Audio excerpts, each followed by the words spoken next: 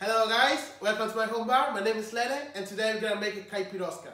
So caipiroska is a twist of a caipirinha, very easy to make. Just um, change the cachaça with some vodka. Let's make one together. So you're gonna need lime.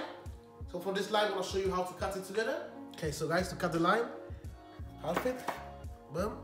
And from this way, grab it this side. You go. One and two. Two. And from here, just take it down.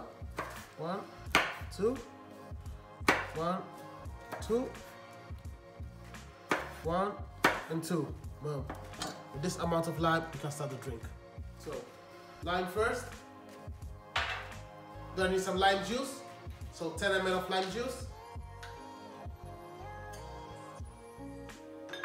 I gotta need 10 ml of gomme as well.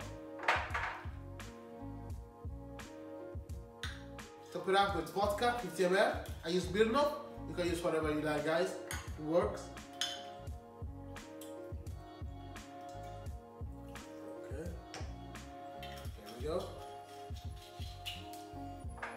So this drink, uh, if you want to modulate, you can muddle the lime. But for my uh, Caipiroska, I don't. I just squeeze it a little bit with a bar spoon.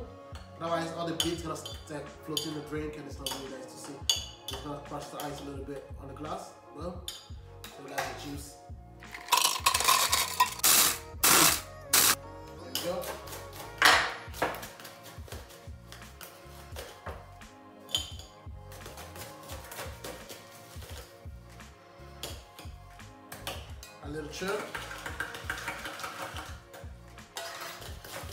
And I'll cap it up with some more crush.